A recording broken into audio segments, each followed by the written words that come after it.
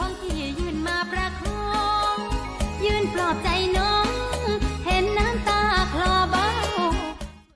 Hi everybody, thanks for joining me once again. This is Peter and you're watching Thailand Bound. I'm using the same background behind me here as I used last week because a lot of people wrote in and said they actually like this, the nice uh, waterfall that you can see in the background. A few people wrote in and said where was the video taken? I don't actually know, it is definitely Thailand um, but it's just a random video that was given to me uh, on a DVD with many other videos. Remember last week I'd actually said to you um, that I was going to put together a montage of funny photographs from Thailand from you guys. So I was actually asking you to send them in. So I've had a really good response to that. I've, I've had quite a few photographs sent to me. And just in case you didn't see that video, it's um, I'm, I'm planning to make a video you know, you see these funny signs, they're, they're not quite spelt correct, or they're just funny pictures, things like that, or any funny images actually that you've taken yourself. Please don't send me Im images that you've taken off the internet because one, I'll have probably seen them already anyway, and two, if I use them, I've, uh, there is a, a quite a high risk of YouTube giving me a strike against my account for using copyrighted material. Um, so you have to have taken the picture yourself. So I'm going to make that video for next Saturday. I normally prepare the videos around Monday or Tuesday. So if you want to send in a um, one of those you know one of your funny images today's saturday obviously so the cut off the deadline will be kind of monday evening if i haven't got if you've sent it in by monday it'll go on to the video after monday i probably won't be able to use it okay right so what's today's video about? You know normally i'm doing stories on a saturday but i feel the channel's getting a little bit stale with the stories. I know a lot of you guys write in and say you like them and i am going to continue to do them but i thought just for today's video and next week i'd do something a little bit different.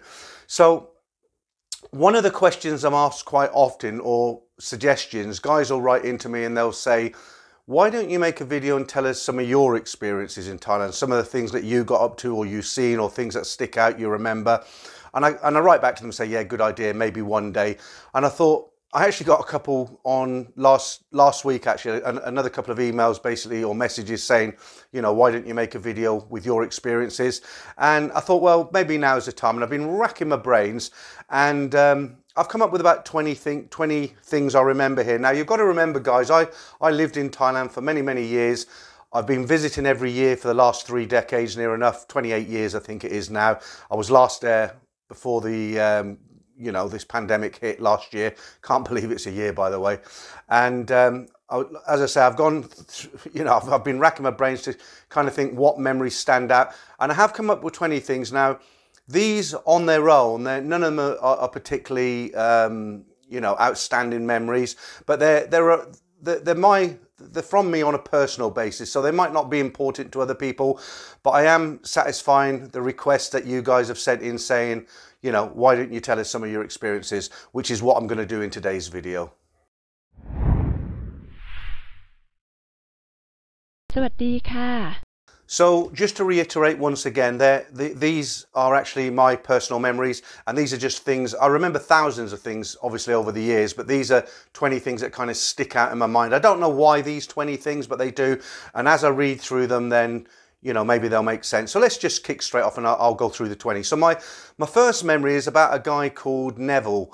And do you, if you're familiar with Nana Plaza, there's um, a, a, huge bar. It used to be called the Carousel on the third floor. I think it's called Billboard now. As you walk in, uh, there's there's a kind of jacuzzi on the right and a revolving stage on the left. Well, back in the day, it was two stages. The, the big one on the left was revolving as you're walking through the door, and the one on the right was just a small standard stage.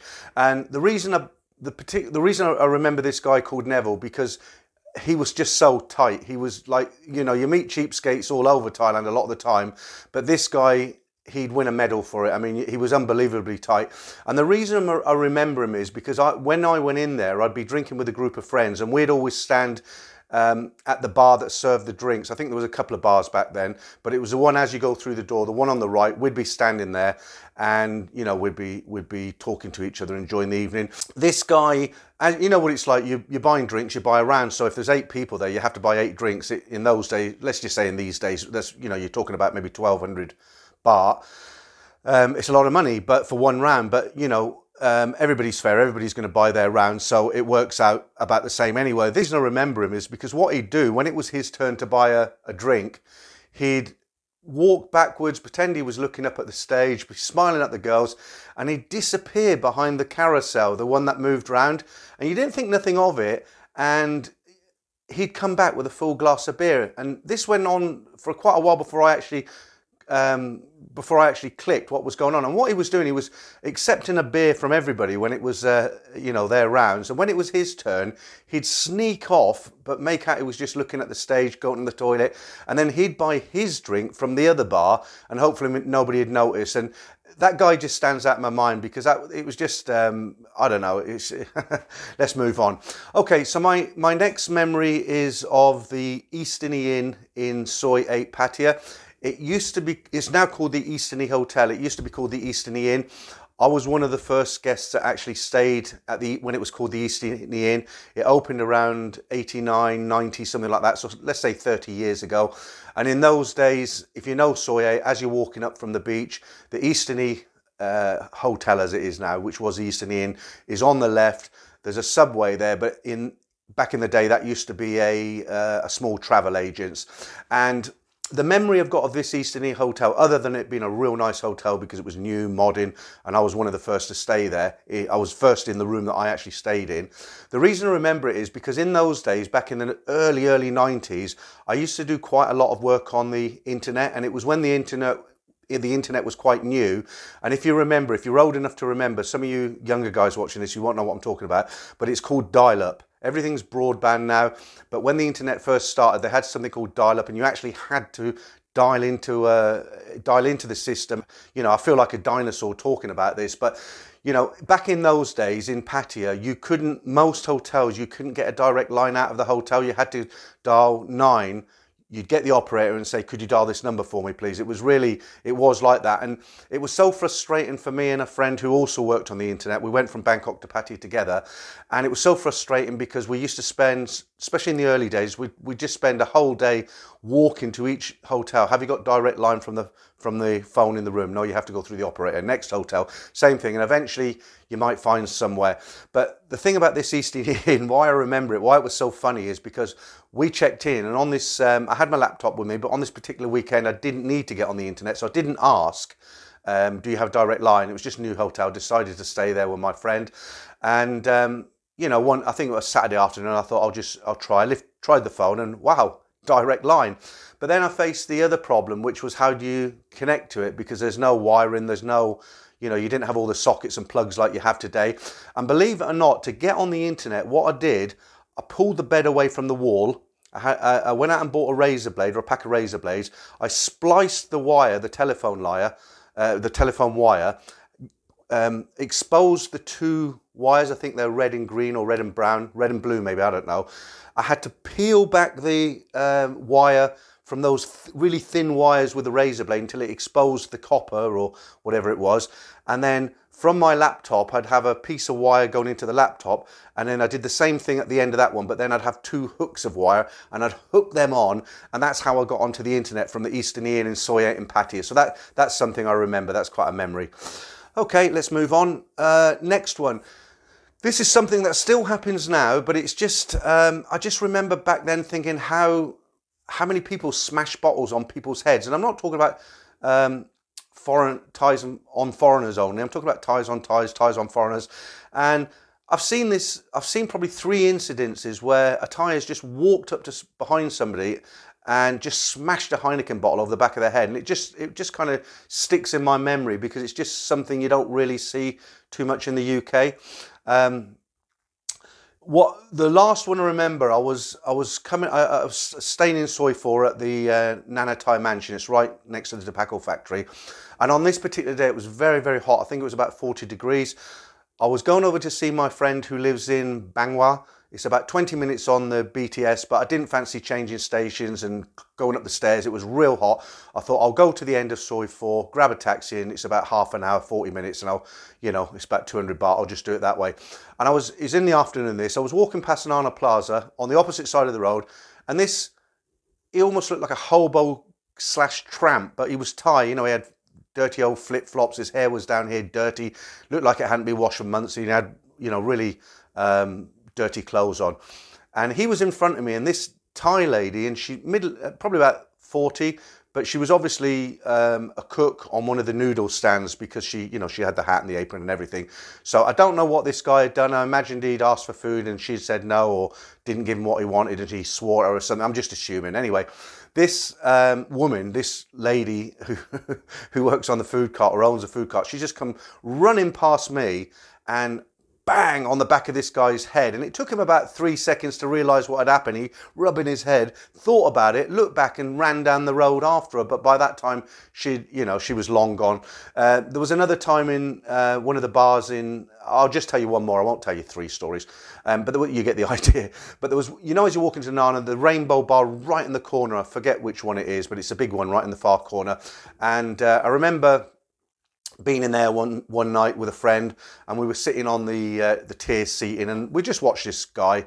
He was sitting on the other side of the stage, and he'd had words with some of the girls, and we didn't think nothing of it. And as he was walking out, just I don't know why I was watching him. For some reason, just followed him out, and a girl come running up behind him and just smashed him again with a Heineken bottle. Okay, so some of these memories that I have from Thailand, they're not all good. In those days, when I lived in Thailand, I used to drive all over Thailand. Um, from up north right down to Pattaya and all the rest of it.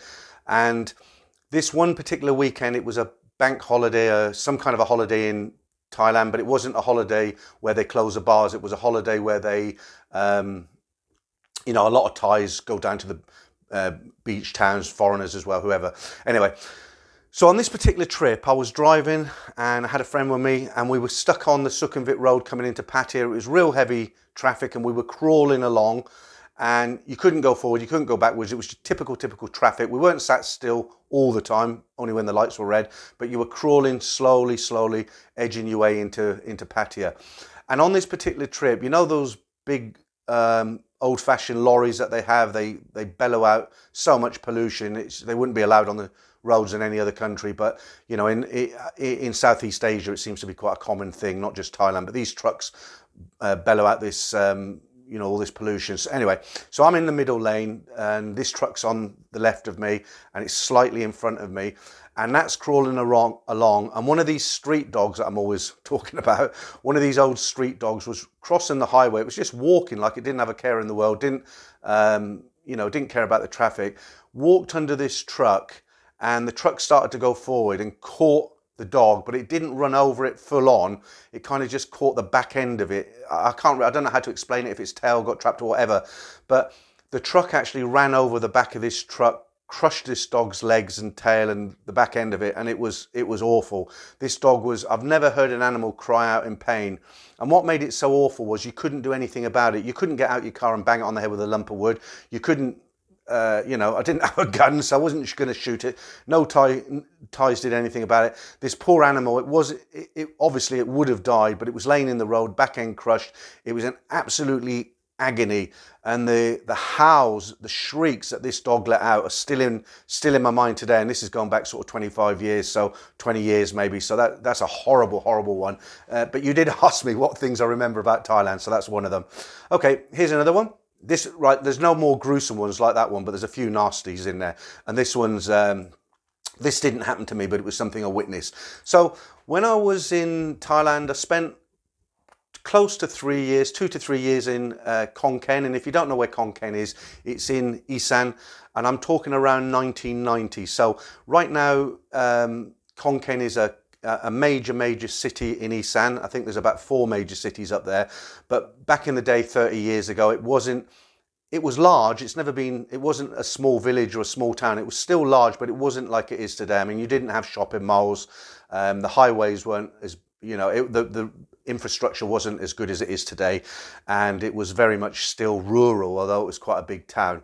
And I went up there with a team to open a hotel in those days. I, you know, I've got hotel uh, background, so we were we were uh, we went up to Khon Kaen to open a brand new hotel, and because it was a because the hotel was being built and we were um, involved in the planning of you know restaurants and everything as it was um, being built. We stayed in a small Thai hotel, and obviously it was a nine to five job. In in the hotel industry, you know, you, you can do eighteen hour days. There's no such thing as a nine to five or a regular day off. But in those days, because we were part of the opening team of the hotel, we were doing kind of eight till five or nine till five, something like that.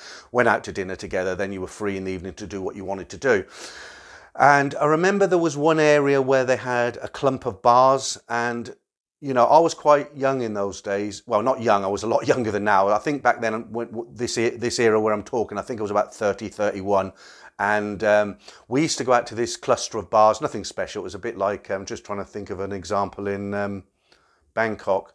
I can't think of one, but it was a cluster of small bars, but it was somewhere to go. It was a lot of fun, you know, and uh, we sat around drinking.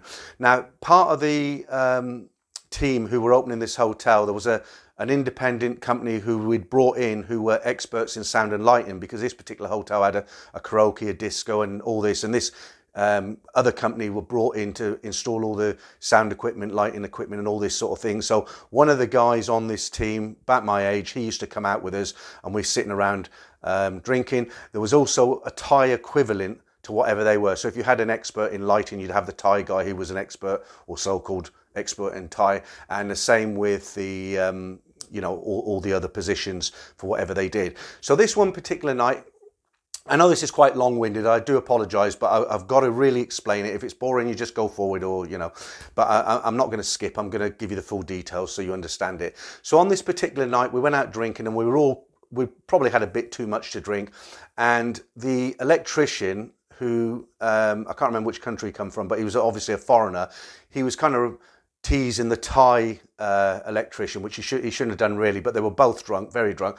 And they were kind of arguing about bits and pieces and you should do it this way, no, you should do it that way. And the Thai obviously didn't want to lose face in front of the other Thais. And the foreign guy, he was quite an expert at what he did. And I think he was starting to make him lose face in front of the other Thais.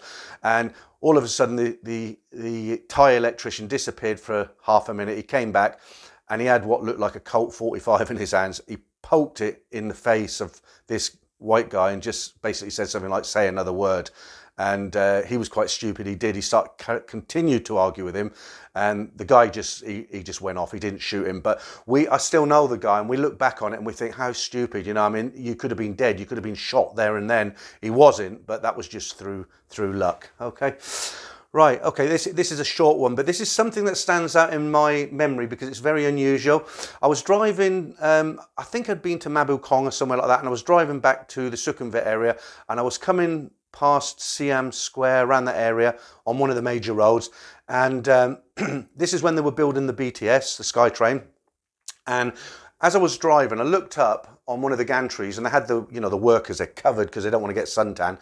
They're covered and they have females and they have males. And you could see so I'm, I'm just stuck in traffic. I'm looking up like this, and I see a female next to the uh, one of the guys. He's working away, and you can see she's got a ponytail, so obviously female. She she's just next to him. She just with her left hand, she just grabs his backside and starts squeezing his his you know his backside. And although that isn't a you know huge story, it's just something that sticks out in my mind. It was very unusual because you see construction workers all over Thailand, and to see uh, a female grab the backside of a male was you know just just sticks out in my mind. Okay, uh, right. This one, a couple. Right a couple of my earlier videos on the channel where I'm telling you stories. I'm not reading them, I'm telling you them because I know them from first-hand experience. Some of them videos um, are from experiences that I know from friends or I've witnessed myself. And, you know, talking about things that I remember from Thailand. Um, this is one I made a video about, but basically it was um, a guy, he came to Thailand with the intention of doing some business, making a business, and we'll cut, I'll cut this one short. He lost all his money and he kept saying, well, when I get to this much, I'll head back home if it doesn't work. And then when he, his money would go down further, then he'd set himself new goals. And eventually he got to the point where he thought, I'm going to throw the dice and gamble every penny I got because I know it's going to happen. It didn't happen. He had a bar friend, a bar girl, girlfriend that he'd been paying money to, sending her money and uh, you know, the usual sort of thing. And he lost everything, and he he he he would have been out on the street. And believe it or not, this girl actually took care of him. You know, she still went out to work. Um, you know what I mean by work. So she lived. He moved into her Thai room. She went out to work, she bought shopping, and he survived for a few months like that. And eventually, he got himself sorted out. He did manage to get a good job, uh, and he he looked after. He rewarded her after that. I don't. They didn't stay together, as far as I know. Um, but that is a very very true story, and there is a video on that story. I, I can't remember which one it is now. You'll have to go through the older videos. Okay, here's another one. The video. Uh, it's one I, I based, you know, the, the, the stories that I tell myself are based on true stories. Now, this is another uh, memory that stands out for me, and it was a, it's tragic, tragic actually. And at the time, it was um, well, it was just horrible. But I had a friend. He went to Thailand. He'd not been out there before, or he'd been out there several times before actually, and he'd met this girl, and he fell in love, and you know, Pattaya girl, Pattaya bar girl, you know the sort of thing. I'm not going to get into great detail here, but he thought he'd met the girl of his dreams. He, she'd persuaded him to go home, sell his house. So he was going to come back to Pattaya, um, open a bar. It's just what Pattaya needs, isn't it? Another bar. But anyway, um, he did all that. And to cut a long story short, as I like to say, he she had a Thai boyfriend and they basically threatened him and got rid of him basically and said, you know, you show your face around here and you're dead sort of thing. Checked into a hotel on the beach road and he basically threw himself off off a balcony and killed himself. So, you know, I, and I knew that guy. He was a very, very good friend of mine. And that at the time it was um, devastating. So obviously I remember that. Okay, this is one that embarrassed me, and I don't know why. It shouldn't have embarrassed me, but it did at the time. I remember I was uh, Sukhumvit Road again. So, you know the white bridges for pedestrians to um, cross over? It was a lot different back then. I'm talking 20, 30 years ago. They've got wire um, between in the middle of the carriageway. You can't, what I'm trying to say is you can't walk from one side of Sukhumvit Road to the other side of Sukhumvit Road without using a, uh, what we call in the UK, zebra crossing, you know, um, or a, um, a bridge. But in those, and, and they've got signs on the wire saying 200 baht fine if you get caught. But in those days, you could actually just cross the road. You, uh, you know, you'd look at night, late at night, and you just run across the road. Um, but for some particular reason, I was crossing Sukhumvit Road and it was quite busy. It was about five o'clock and it was near Soi 8, around that sort of area where they used to have all the, uh, or was it Soi 7? You know the German beer garden? It was uh, near that, just after there, around there anyway, it doesn't matter. But there's a bridge there. And I went over and there was a white guy sitting in the middle of this bridge with a sign written in English and in Thai. And it basically, and he had a bowl in front of him and it basically said, um, please give generously, need ticket to get back home. And obviously this was in Thai. And it just didn't register with me. When I first seen it, I thought it was a joke. You know, I mean, here's a white guy begging in the middle of Bangkok. And as it began to sunk in, I stopped at the end of the bridge, looked back at him, and I thought, and, it, and then it finally registered, it clicked. This guy had somehow lost all his money, he'd spent all his money, or he'd gambled and thought he was getting more money. It didn't happen. He was he was desperate, and he was on this bridge, and he was begging Thais and foreigners for money. And, and I remember a deep feeling of shame. I don't know why. It was nothing to do with me, but I just that was in the days where it's a lot different now, but uh, you know, I don't know if I should say this, but the Thais they kind of respected foreigners a lot more than they do today. Um, I won't get into it, but uh, they did, and to see this guy begging on a bridge, it just made me feel totally ashamed, and it shouldn't have done because it was nothing to do with me. But there you go. Okay, now this this next one it actually touches on the video I'm going to do next Saturday, which is you know I've asked you to send in all these uh, funny pictures you might have taken in Thailand or funny signs, and it's just um, this is something to remember. Now, these are signs that they'd put in massage parlor windows or shop windows or wherever, and they were they put these signs up as serious signs. They weren't meant to be a joke. They're translated into English or they're written in English, but they're they're meant to be serious signs. And some of these signs, you read them and they just you know, they just make you laugh, or they did me anyway. And I'll give you an example of one because this video isn't about funny signs. But I was work at that time. I was staying in Soi 24 at the time in a building called Sahai Place. Still remember it. But I remember going down there, and it's um, it's 22, 22 because they've got all the massage shops down there. And I remember walking down there, and they have these little crazes, and if somebody does it and it works, they all do it. And I remember these signs in the window of these massage shops, and I'm not joking. They actually said testicle massage and that was serious. They were basically saying go in and have a you know one of them. And that was meant as a serious um, sales pitch and I, I, just find things like that quite funny. Um, okay here's another memory. This one sticks out a bit. Do you know when you when you travel around thailand you stay in small hotels and they provide water but uh, beers uh, snacks and things like that, but they're always overpriced, aren't they? If you, there's normally a 7-Eleven in the same street, or nine times out of ten across the road. And I remember um, I did this very often. I, would check into a hotel. I'd need, I'd, you get free water, but sometimes you forget to get it. The next day you've run out of water. You've been out drinking, and you, you know, your your tongue's like a, an Arab's sandal sort of thing, and uh, you'd need a drink there and then. So you'd you take the, the the water that they were selling in the fridge, drink it, and then you'd go out and buy one from 7-Eleven, take this label off, and put it back in the fridge. And they were none the wiser. And I used to do that very often. But this memory sticks out in uh, in my mind for one reason that I didn't actually do it in this time. I, I checked into this hotel in Pattaya and it, before the Eastern Inn or the Eastern Hotel, whatever you want to call it now. And um, I checked into this hotel and I didn't actually do that. I went out and uh, I drank their water and I bought more water, but as I was checking out, they actually charged me for this water, and I said, I said, no, I'm not paying for it. I never bought it, and I really hadn't. You know, I mean, I've just told you that I had done in other hotels, but I don't know why they they said, oh yeah, this one's got some special blue label underneath, and if you buy it from outside, we know and you know, I could have turned it into World War Three, but as I'm always saying to you, you know, it's better in those situations just, you know, pay it and walk away. What, how much are you talking about? A couple of hundred baht. It's not going to break the bank. I know it's wrong, but sometimes it's an easier option. Um, so that was quite a strange one. Um, another memory. Okay, so a friend of mine said to me one day, he said, "Have you ever eaten?" I'm not going to name the restaurant because that would be unfair. There is, or there was, quite a famous restaurant in Patpong, and I, I, won't even tell you why it's famous because uh, I just don't want to expose if they're still there. It's not fair on them. But my friend had said to me, "Have you ever been to this restaurant?" And I said, "No, I haven't." He said, "It's very, very good. Let's go and have a meal there." And so we went to have a meal there, and it, um, I nearly let on there what we were having. But anyway, we went there, and halfway through the meal, and this is just the reason I remember this is it's just something you wouldn't see in the UK somebody will probably write in and say they've seen it, but it's not normal. But I'm sitting there eating, and I'm on the main course. We're talking to each other. I look up, and the beam that runs along the wall, the top of the beam there, a rat just sitting there, scratching itself, looking around, didn't, couldn't give a damn.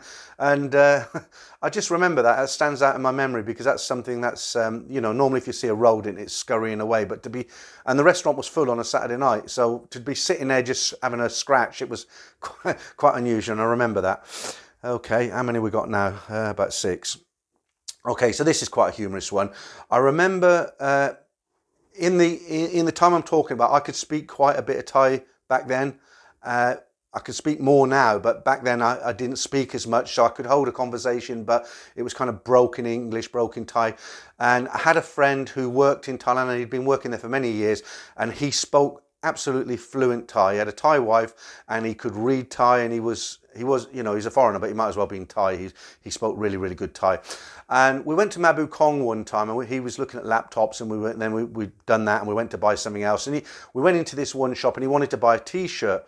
And a lot of the shops, they, a lot of the shops in Thailand, they don't put the prices on things because they like to negotiate. So if you're one person, you say how much, they'll tell you one price, and somebody else, they'll tell a different price. That's how it works, especially in markets. And uh, my friend and myself, we went into this um, clothes shop in Mah Boon Krong, no prices. And my friend, he didn't, he, he said it in, in English. I don't know why he didn't speak Thailand, but he actually said, how much is this t-shirt? Like, how much is it? And before he had time to answer, the owner who was there, a guy, old, uh, old guy, with his young Thai assistant, like the shop worker, he actually said to her in Thai, okay, charge this guy four times what we normally sell it for, but let him barter it down to double the price. So in other words, if it was 100 baht, the owner had said to him, uh, said to the girl, okay, the real price is 100 baht, tell him it's 400 baht, but if he barters, let him have it for 200 baht, but no less sort of thing. And my friend turned around, he said, what the, he's saying that to her for, which obviously shocked him, and I suppose he lost face, but he, he turned around and said something in Thai, like, oh no, you're one of us, you speak the same language and uh, you can have it for the same price. And I, I, think it was laughed off in the end because, you know, the worst thing you can do in Thailand is make someone lose face. And we, you know, we don't want to make people lose face, but that was, that's uh, quite an interesting story. Um, okay, so this is one, you know, in a lot of the videos in the past, I've said to you, look, don't mess about with the Thais, go there, enjoy it don't try to force your own ways on them. If you're not happy about something, just walk away. Well, this, this story is a good example. So again, I'm not going to name the bar. I'm just going to say it's one of the outside bars of Nana Plaza. And you know, as you walk in, they, I don't know if they still do actually, but they used to park all the motorcycles along the left-hand side and the right-hand side. And one of those bars got a new manager and he, he, he was trying to, um, you know, look good, look, do something. I don't know what he's trying to do. But anyway, he told the Thais, uh, you can't park your motorcycles there anymore. Now, bear in mind, they've been parking motorcycles there since day one, you know, probably 25 years they've been parking their motorcycles there. Or that's where, you know, they've got to park somewhere, haven't they? And he came along and he put up some cones and some plastic tape and all the rest of it. And when they challenged him, he was like, no, no, new owner, new uh, new management, whatever it is, you can't park your bikes. Customers can't see, they can't get to the bar, you're blocking the entrance. And he stood firm and, he, you know, he thought he'd doing the right thing. Anyway, I happened to be there that night, but I was in the opposite bar and a bunch of about 20 Thai guys came in there. Uh, put the motorcycles there, snapped the tape and everything. He came out and they just beat him up on the spot. You know, I mean, it's, it's understandable. You know, you don't, you can't, you can't go along to uh, somebody in a, it's their country, it's not yours, and tell them you can't park your motorcycles there. So, um, you know, you don't forget things like that. Okay, this is quite a funny one. This is um, I was in Patpong years ago. There's bars above the regular bar. So as you're walking down Patpong, you've got all the go-go bars, you've got the night bazaar, the night market in the middle, but they have doorway. I, would never go into them now because they're real rip-off places. But as you're going along in between the go-go bars, you might have an opening, a doorway, and you'll have a tout there, and he's like, "Oh, this show, that show," and he'll have a card with him. And I went up to one of these shows. Um, we went up to one of these um, uh, shows upstairs above one of these bars in Patpong, and rubbish really. And as we're coming out, I got to the top of the stairs, just started walking down, looked down, and I seen a cockroach about the size of my thumb here, and it went under my collar. Of course, I I'd no experience of this, and I just went into utter utter panic, ripped my shirt off, and I, believe it or not, I was running through Patpong Market, swinging my shirt with nothing on top, and all the Thais on the market and everything. They were laughing, you know, they're really laughing and pointing at me. Look at that idiot, you know. And I suppose I looked like one, wasn't I? But you know, when you when you get a a, a, cockroach the size of your thumb crawling behind your neck and you're not used to it, then yeah, you know, I ripped my shirt off and I ran for it. But anyway, uh, okay, now the next one. This is a uh, this is a really good memory. When you hear me tell you this, you're going to think it's, it's, quite childish, and I suppose it was. But we had a great night, a fantastic night, and it was a friend. Uh, it was when I lived in Pattaya. A friend and myself, we went on the internet and we seen this product. They were called um, from America actually, and we got them delivered to Thailand. Took about six weeks at that time, but they're called Billy Bob Teeth.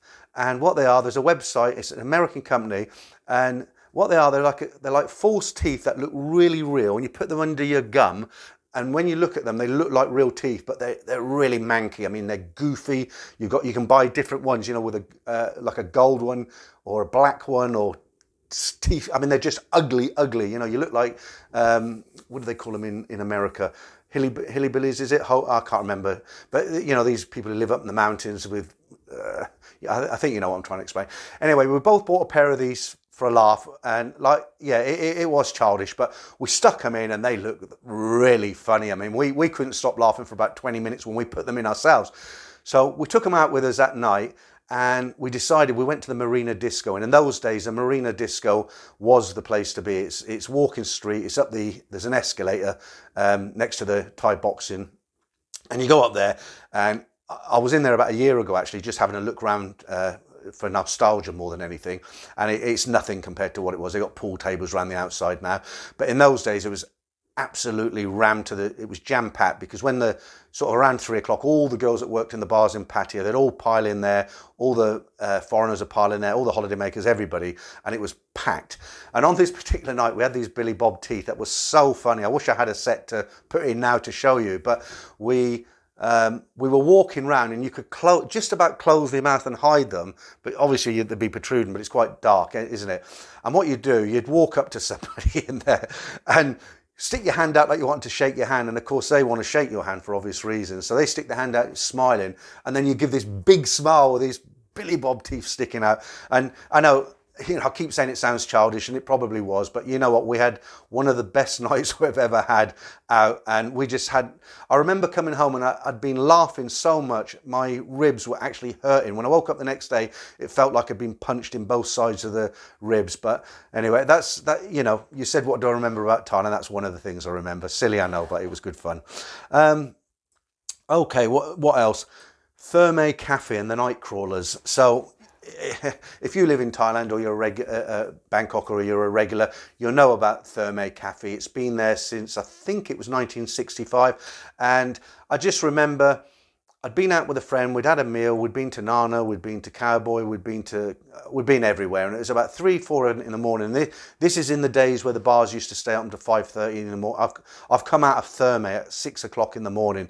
They used to stay open all night. Now I think it's two o'clock, and um, so my friend and I we went out and I was abs- and this is when I was in Khon Kaen so I'd come down for the weekend he took me out and uh, so it must have been in the real early days and he um, I, about four four o'clock in the morning I was absolutely you know tired I'd been you know what it's like you're sweating when you're walking around these bars and I would been I was drunk, and I said to him, "Look, I want to go back to the hotel. I'm going to have a shower, sleep. I'm, I'm knackered, kind of thing. You know, I'm really tired." And he said, "Look, let's just go to one more." And I said, "We'll make it somewhere quiet where we can sit down, have a bit of peace and quiet because I'm I'm really tired." He says, "Yeah, yeah, yeah. This place is real quiet." And I tell you what, he took me in there, and I thought I'd gone into um, I can't even think of the word, but this place was packed to the rafters, and the sort of people back then that were in there are not like the people who are in there now. This it's it's um, you'll see a lot of Japanese and Korean guys in there now. It never used to be, and I'm not saying that in a derogatory way, like I'm saying it's bad because they're there. But what I'm saying it was just a different clientele. But what was funny about it was there was lots of funny things about it. I mean, if you went, they had a back entrance in those days, and I remember you go you go to the toilet and you know, people are coming and going, coming and going, no privacy whatsoever.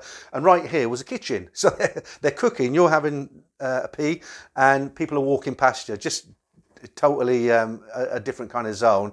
So I remember that. And the other thing I remember about it, you'd have, I suppose, four or 500 people in there, maybe 300, I don't know. Absolutely packed, but they didn't provide any music. There was a jukebox.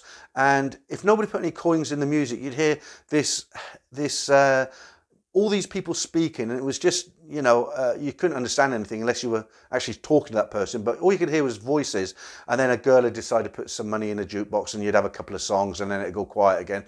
So I remember that, and obviously I remember coming out at sort of six in the morning, and it was daylight, and all the Thais were going to work, and I'm thinking, you know, what sort of a life am I am I living here? Is this normal? Um, Okay, now the next one. This is uh, this is a really stupid thing. You know, you know, you do. We've only got three more now. You know, sometimes you do things in life and you look back on it and, you know, you shake your head and you think, how could I have been so stupid? You know, I could have killed myself or I could have, you know, I could have got, you know, we've all had thoughts. I remember being in Patti with a friend of mine. I was driving, I had a um, an old BMW back then. I can't remember what series it was. I think it was a Series 5 because it was quite big, but it was an old one. Anyway, we'd been drinking and we were in Jomtien and just for fun, I don't know what come over us, I decided that we were going to go down to the end of Jomtien and we were going to do handbrake turns. Yep, that's it. You heard me correctly, handbrake turns. And, uh, you know, now bearing in mind, I was absolutely drunk. My friend was absolutely drunk. You know what it's like in Thailand. You get people wandering about all hours of the day and night. So I went, you know, it wasn't this end of Jomtien where um, when you first get to it, it was a far end to be fair. But, you know, we'd start off get it up to about sort of 40, 50, handbrake. I was doing handbrake turns, you know, you could hear the screeching. Well, you know, can you imagine the consequences if, if I'd have hit somebody, if I'd have killed somebody? So obviously I can't forget that. That was a real stupid thing to do. A hands up, I admit it, but that's that's something that stands out. Um, and I'm going to end on a, on a nice one, guys. I'm not going to end on a real gruesome one, but I've got two more. Um, and this is something that stands out. Um, a barrister, if you're not English, a barrister is like a um, an attorney in America, but a very a high up one, you know, they're, they're sort of the, the, top of their profession. And I remember in Nana Plaza, there used to be a barrister who, or an ex barrister who owned um, a bar and it wasn't even a nice bar. It was one of these really sort of smelly, pokey little bars.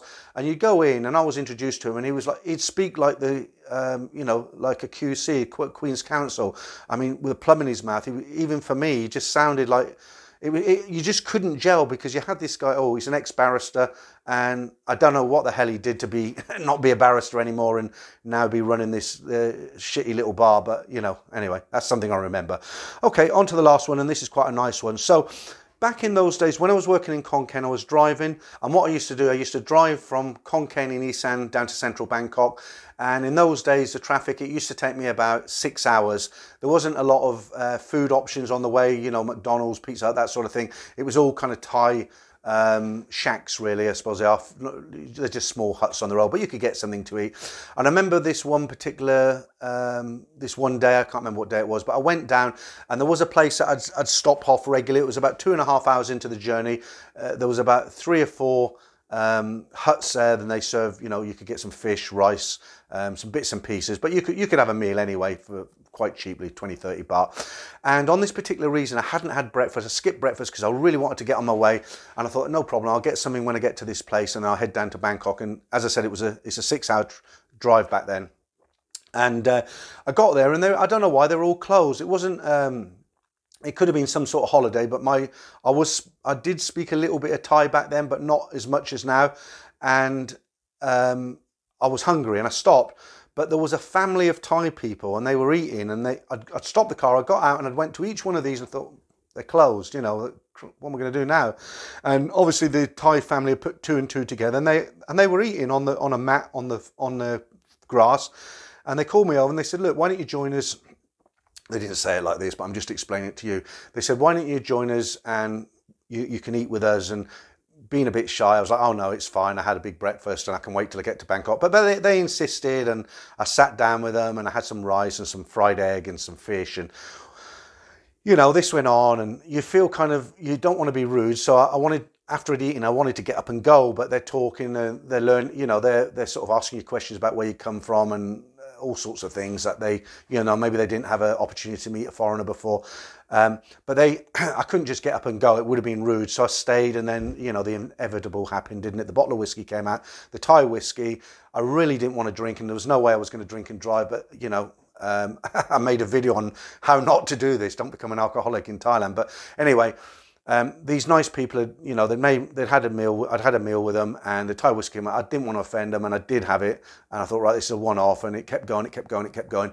And in the end, I ended up sleeping all night in my car in this little kind of pit stop. And uh, when I woke up, they were gone, obviously. So whether I got drunk and they put me in the car or I crawled to the car, I don't know. Um, but quite a nice memory just for the very fact of having a, a meal with a, a, Thai family and um, you know kind of being the center of attention. Okay, guys, so I hope that's um, you know I hope that, that, that them 20 experiences of mine haven't sent you to sleep yet. Um, you did ask me and like I said, I've got thousands and thousands of good memories, a few bad memories from Thailand, and I don't know why these 20 particularly stand out, but they do. I've now shared them with you, so that's done and dusted, job done. Okay, next week, as I say, it's not going to be a relationship story again. We'll do that the following week. Uh, I'm going to be putting this montage of pictures together, which is going to be quite a lot of work because I'm going to give each person a name uh, a name check. So uh, each picture will will sort of say this is uh, courtesy of whoever sent it in. And if you have sent me a picture, you don't want your name on there, you better let me know now before uh, next Monday. Okay, guys. Once again, thanks for joining me, and I'll catch you next Saturday.